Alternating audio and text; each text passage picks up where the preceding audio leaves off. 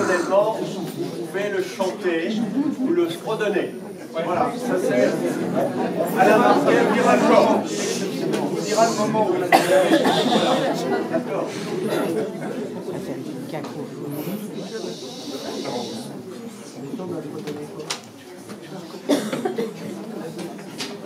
D'accord.